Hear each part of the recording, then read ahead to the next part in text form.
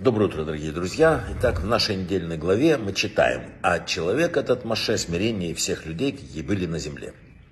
Так говорит Тора. Здесь тоже непонятно. Вот, э, разве Маше не знал, что он выше всего народа и обладает наибольшей святостью? Разве не о нем Бог сказал, что больше не будет, и не было и не будет такого пророка, как Маше? Он поднимался на небо, состязался с ангелами, получил Тору от самого Творца.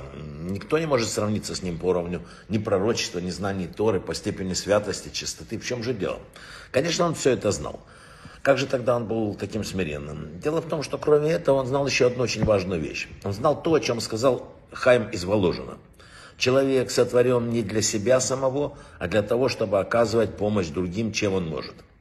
Поэтому, например, если ты учишь Тору, то это добро нельзя пренебрегать для, при, при, приберегать для себя. Это надо делиться его с людьми. Если ты знаешь хотя бы какое-нибудь два слова или рассказ Торы, делись дальше. Ибо ты для этого создан, написано, как ни странно, передавать это другим. Кто знает это и пронизан этим ощущением, тот не будет гордиться. Ведь служащий из банка не станет гордиться тем, что вот огромный капитал проходит через его руки. Он знает, что это ему не принадлежит, он только служащий. Он находится в двойном подчинении. С одной стороны служит клиентам, с другой стороны владельцам банков, а сам получает только вознаграждение, жалование. Вот практически и все. В нашей недельной главе рассказывается еще о Пейсахе Шини. Это маленький Пейсах, который э, потом был э, Богом разрешен для людей, которые не успели к первому. Мы не об этом будем говорить, мы немножко о другом. А, Пейсах Шини это символ надежды, которая выше расчетов и разума. Надежда – это опора духа, в свою очередь. Когда человек, например, болен, он всегда должен верить в то, что сможет победить болезнь. Надежда выздороветь – это половина выздоровления, написали мудрецы. Даже Дюма, э, отец, писал, что надежда – лучший врач, какие известны. У каждого из нас есть человек, из уст которого, если скажет, все будет хорошо, это дает надежду.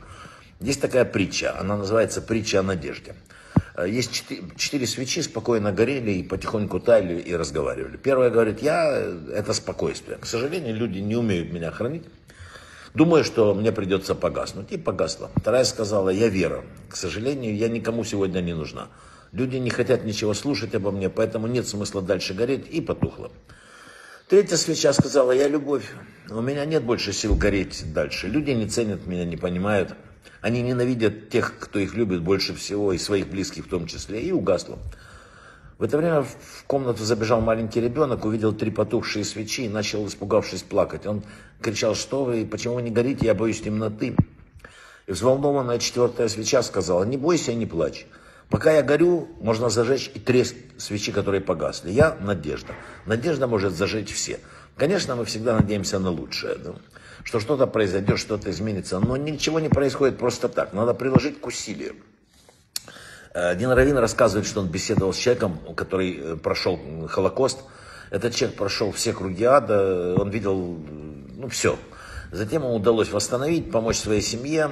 Он рассказывал, что в Аушвице проводилась селекция. Часть людей была отправлена на уничтожение, часть трудовые лагеря, морили голодом, э, работали до изнеможения, но люди знали, по крайней мере, он говорит, мы точно знали, кому умереть и кто не выживет. А как вы это знали, спрашиваю. А мы видели по глазам, это сказал э, этот человек.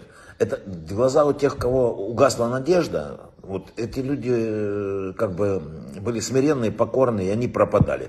Они отставали, спотыкались и уходили из жизни. Как рассказывал этот человек, спас, который спасся из лагерей, тот, кто боролся, надеялся, стискивал зубы, не отчаивался, в итоге побеждал. А кто опустил голову и руки, потерял свет в глазах, ну, тот терпел поражение. Вот это все относится к каждому из нас. В жизни есть некоторые люди, которые достигают успеха, есть другие, которые просто завидуют и впадают в смятение. Вместо того, чтобы завидовать, значит, надо учиться надо, двигаться вперед, улыбаться, и вы преуспеете.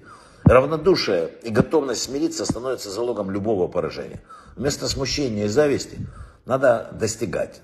Написано в, трактате «А вот». Трудился и нашел, верь. Сейчас все поменялось, мир гигантскими шагами приближается к Эре Машеха, главному периоду истории. И вот э, мы тоже сейчас э, как бы увидели, что все наши пути, которые раньше много веков шли, они оказались закрыты и запечатаны. Это те пути, на которых мы отдавали все наши силы. Погони за деньгами, с юности учились заботиться о содержании тела. бросали на это все силы, больше удовольствия от жизни. Как мы служили Творцу. Ну, давайте посмотрим честно. Пытались подкупить его несколькими словами, выделив ему несколько минут, там, э, продолжая заниматься тем, чем мы занимались. Взгляните со всей искренностью и увидим правду, она болезненная. Надо срочно делать выводы.